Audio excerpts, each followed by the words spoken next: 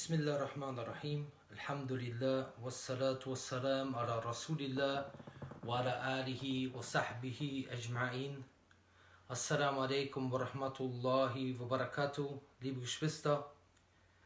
Erstmal wollte ich euch darauf aufmerksam machen, dass die letzten Tage vom Shawwal angebrochen sind. Ich glaube, morgen ist der 26. Shawwal und ihr habt also noch drei bis vier Tage Zeit, wenn morgen der 6. ich weiß nicht, ob es der 25. oder 26. morgen ist, äh, die Tage, die ihr zu fasten habt, von den sechs Tagen zu fasten. Das Thema, wie ihr seht, ist, was können wir Muslime von Cristiano Ronaldo lernen? Da wird der ein oder andere vielleicht sagen, ja, Cristiano Ronaldo ist kein Muslim, was soll ich von ihm lernen? Erstmal, wir Muslime, wir sollten Gutes, wenn jemand eine gute Eigenschaft hat, sollten wir davon profitieren, egal ob er Muslim ist oder nicht Muslim ist, solange diese Eigenschaft nicht zum Schlechten einlädt. Und Umar al-Khattab radiallahu anhu, der hat gesagt, O Allah, ich suche zu Allahumma in bika min ajzil mu'min wa jalat al-kafir. Das heißt, ich suche bei dir Zuflucht vor, dem, vor der Unfähigkeit des Gläubigen und vor der Jalat, das heißt so diese Entschlossenheit, Stärke, Fähigkeit des Kafirs. Ja? Das heißt, wir schauen uns an, wo hat jemand eine gute Eigenschaft, aber natürlich dürfen wir als Muslime nicht vergessen, dass unser ultimatives Vorbild der Prophet a.s. ist, über den Allah in Surah 33, Vers 21 sagt, لَقَدْ كَانَ لَكُمْ فِي رَسُولِ اللَّهِ أُسْوَةٌ حَسَنَةٌ Im Gesandten Allahs hattet ihr schon das beste Beispiel. Und an einer anderen Stelle sagt Allah, Kad kanat lakum uswatun hasana fi Ibrahim walladhina ma'. Ihr hattet schon das beste Beispiel Ibrahim und die, die mit ihm waren. Die Mufessirun, das heißt die, diejenigen, die den Koran erklären, sagen, die, die mit ihm sind, sind wer? Sind die anderen Propheten. Weil Ibrahim ist Abul Anbiya, der Vater Abul Anbiya, der Vater der Propheten. So wird er auch genannt. Das ist unser Vorbild. Auf anderer Seite ist unser Vorbild, sind die Sahaba. Der Prophet Allah sagt im Koran in Surah 9, Vers 100, والسابقون الأولون من المهاجرين والأنصار والذين تبعون بإحسان die vorausgehalten von den Muhajirun und den Ansar und diejenigen, die im guten Handeln folgen. Radiallahu anhum wa radu'an. Sie, mit ihnen ist, sie sind mit Allah zufrieden und er ist mit ihnen zufrieden. Allah sagt im Koran, dies sind diejenigen, die Allah recht geleitet hat. Hiermit sind die Propheten gemeint.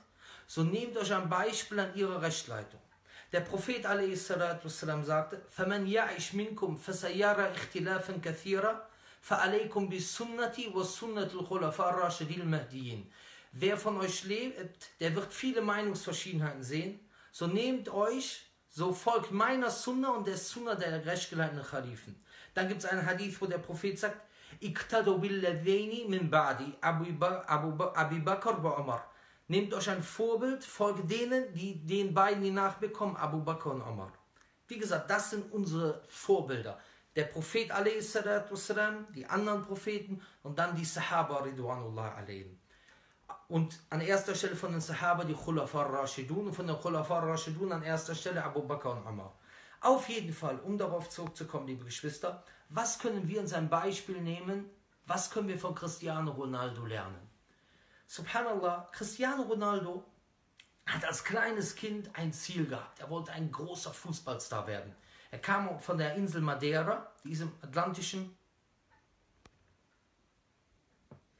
Er kam von der Insel Madeira im Atlantischen Ozean, ja, und er wollte ein Fußballstar werden. Als er zwölf Jahre alt war, wurde er geholt von Sporting Lissabon. Wie weit ist Lissabon von der Insel Madeira entfernt?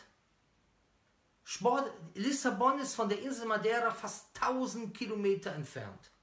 Das heißt, als er zwölf Jahre alt war, für sein Ziel, was er hatte, war er bereit, seine Familie zu verlassen, seine Mutter zu verlassen, seine Geschwister zu verlassen, seinen Vater zu verlassen, weil er so sehr an dieses, so sehr dieses Ziel erreichen wollte.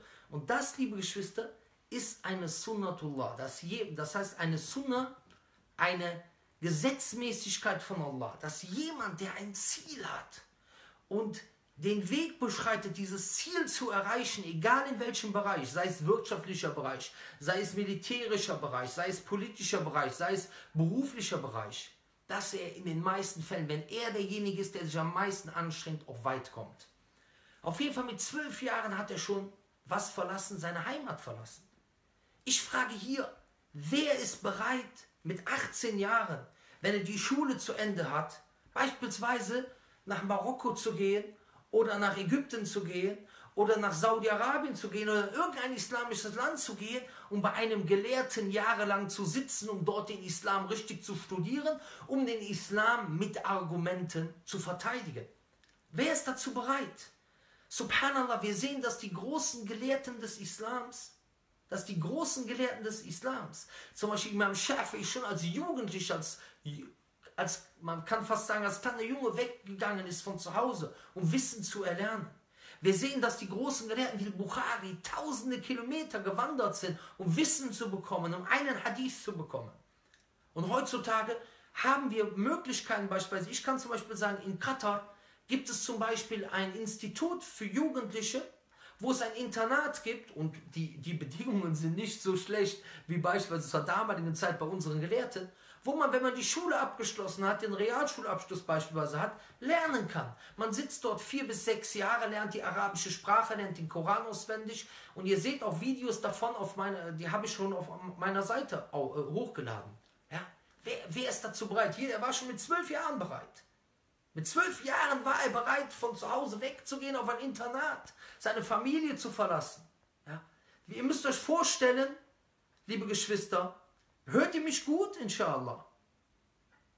Auf jeden Fall, wer ist mit zwölf Jahren bereit, motiviert, was zu machen, sich jeden Tag ein Buch zu nehmen? Wir reden mal gar nicht von, von zu Hause weggehen.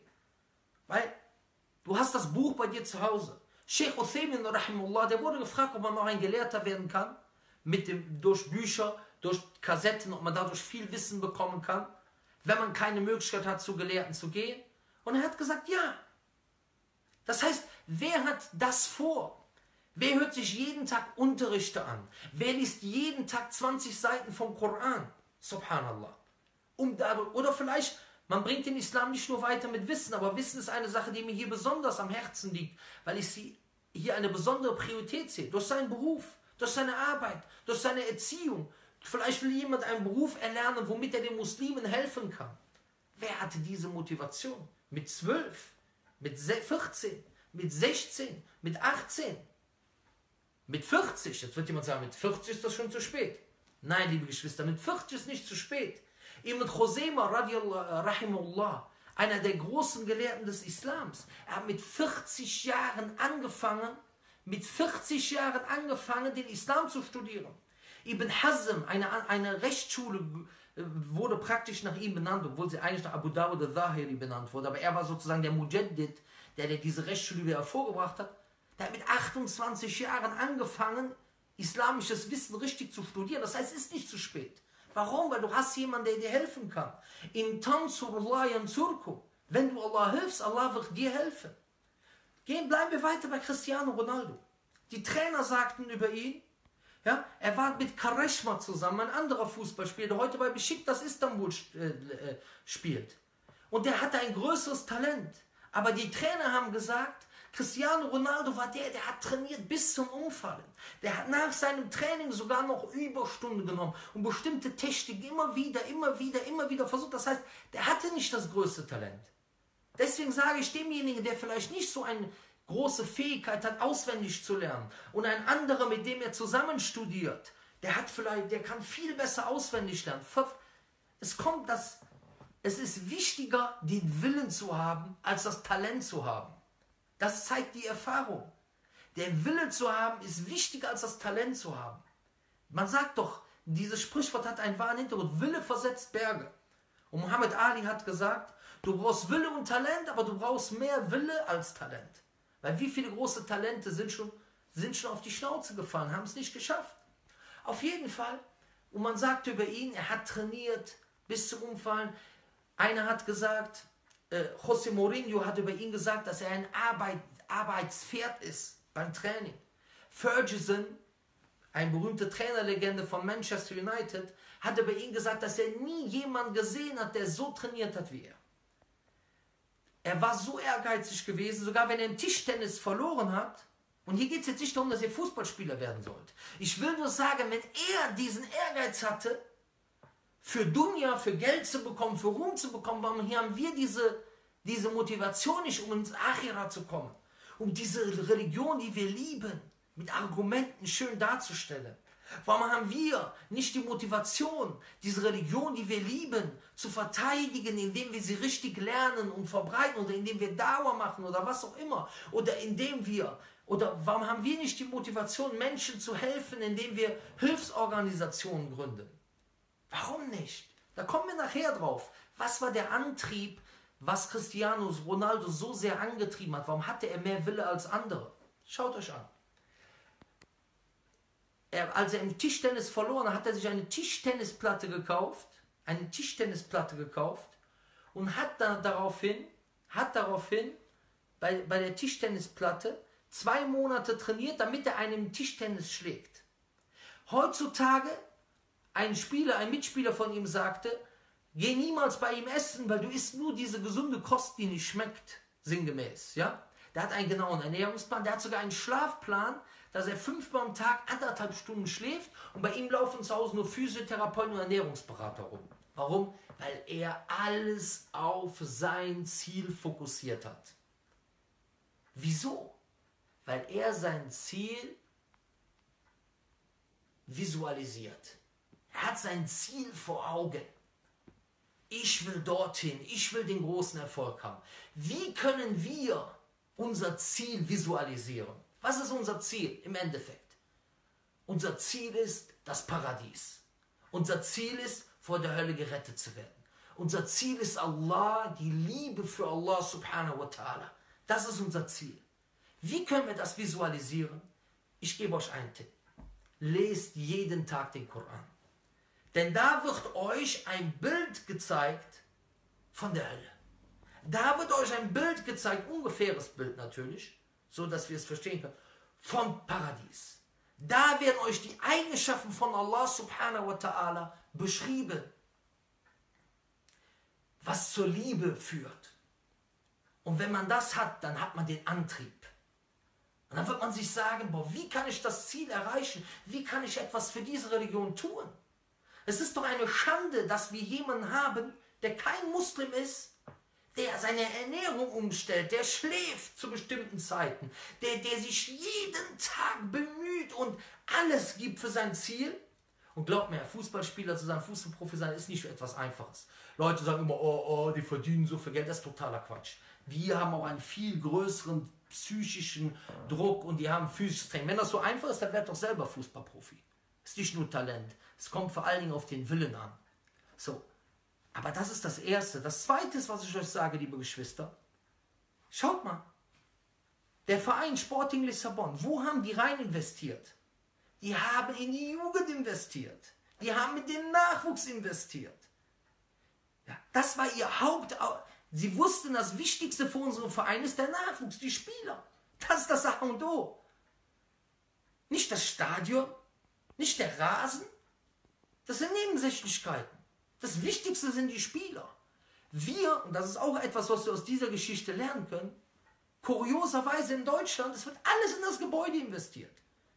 Ich kenne nicht eine einzige Moschee, die gesagt hat, wir sammeln Geld beim Freitagsgebet und dadurch ermöglichen wir es, einem oder zwei Jugendlichen sechs Jahre im Ausland studieren zu gehen. Zum Beispiel in Marokko gibt es sehr, sehr gute Institute, um den Islam richtig zu studieren damit die dann nach sechs, sieben Jahren wiederkommen, den Koran auswendig gelernt haben, hier in Deutschland die Umstände kennen, die deutsche Sprache beherrschen und unsere Jugend vom Islam erzählen können. Fast in allen arabischen Moscheen oder in einem Großteil der arabischen Moscheen, nichts gegen die Imame, ja, sitzen Imame die die deutsche Sprache nicht beherrschen, beziehungsweise wenn sie sie beherrschen, nicht in Deutschland aufgewachsen sind, die Lebenswirklichkeit der Jugend nicht kennen und deswegen die Jugend auch natürlicherweise nicht so erreichen können, in den meisten Fällen. Ich rede nicht, Ausnahmen bestätigen selbstverständlich die Regel. Das heißt, was brauchen wir? Wir brauchen Nachwuchs. Deswegen sollte jede Moschee, das ist ein Aufruf von mir an alle marokkanischen Moscheen, Sucht euch Jugendliche aus, die bei euch in die Moschee kommen, die Talent haben und die Lust haben und die Wille haben. Und versucht sie dazu zu motivieren, ins Ausland zu gehen, zum Beispiel nach Marokko. Es gibt viele Institute, wo man sehr gut den Islam lernen kann oder von mir aus in anderen Ländern. Wo sie den Islam lernen, ihr sagt, wir bezahlen euch die Wohnung, wir bezahlen euch das Haus, äh, die Wohnung, kleine Wohnung, Essen, Trinken und ihr könnt dort studieren und nach diesen Jahren kommt ihr wieder und seid Imam bei uns in der Moschee. Wenn wir es so schaffen, in hunderten Moscheen Leute, die top ausgebildet sind und noch dazu die deutsche Sprache beherrschen und noch dazu die Lebenswirklichkeit, Lebenswirklichkeit der Jugend kennen, hier als Imame einzustellen, dann können wir wirklich etwas verändern. Dann können wir spielen. Dann können wir in der Top-Liga mitspielen. Aber wenn wir unser Geld immer nur in die Sitzplätze investieren und in den Rasen investieren, beziehungsweise Rasen ist hier, ich habe das als Beispiel genommen, der Teppich in der Moschee, ja, und der Sitzplatz sind die Stühle und die Küche und dieses und jenes, alles schön. Aber Priorität ist der Nachwuchs. Deswegen mein Aufruf an alle Moscheen, nehmt euch ein Beispiel an den Top-Fußballvereinen. Die Top-Fußballvereine was machen die? Die investieren ihr Geld in die Jugend, damit sie Top-Spieler haben, damit sie Erfolg haben können. Das muss euer Hauptaugenmerk sein. Es wird immer am Wochenende, am Freitag so viel Geld gesammelt. Für alles Mögliche. Warum nicht dafür? Ich habe noch nicht eine Moschee gehört. Es gibt so viele Studenten, die in Saudi-Arabien studiert haben, die in Ägypten studiert haben, die in Ö, die von mir aus in Mauretanien studiert haben oder in Malaysia die aufgehört haben zu studieren, weil sie es finanziell nicht mehr leisten konnten. Das sind Jugendliche, die haben eine Familie, konnten es sich nicht mehr leisten. Beispielsweise, wenn du in Saudi-Arabien studierst, ja, man kann auch nicht von jemandem, der hat beispielsweise vorher schon geheiratet, so, die bezahlen ihm das Geld für ihn. Dass er im Studentenwohnheim wohnt, aber nicht, dass er sich eine eigene Wohnung leistet, nicht das Essen für die Familie noch dazu. Das bezahlen sie ihm nicht. Das heißt, wenn ihn keiner fördert, wird er wahrscheinlich irgendwann das Studium abbrechen. Dann, kriegt er, dann ist die Frau schwanger, dann muss er, muss er dort selber bezahlen, dass die Frau entbindet. Und was passiert? Er hat das Geld nicht dafür. Deswegen fördert die Jugend. Fördert die Jugend. Und ich habe schon mit dem äh, Bruder von Ihed gesprochen. Vielleicht werden wir auch so machen, weil das ist das Wichtigste für uns hier in Deutschland, dass, dass ähm, wir ähm, Studenten unterstützen im Ausland, damit sie dort studieren können. Weil so viele haben das Studium abgebrochen.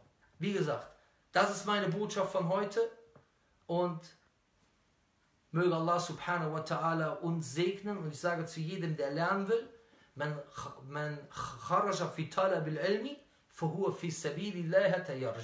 Wer rausgeht, um Wissen zu erlangen, der ist auf dem Weg Allahs, also eine Art von Jihad, bis er zurückkehrt. Möge Allah uns zu denen machen, die nützliches Wissen fordern, die lernen, um diese Religion auf die schönste Art und Weise darzustellen. Salam alaikum wa rahmatullahi wa barakatuh.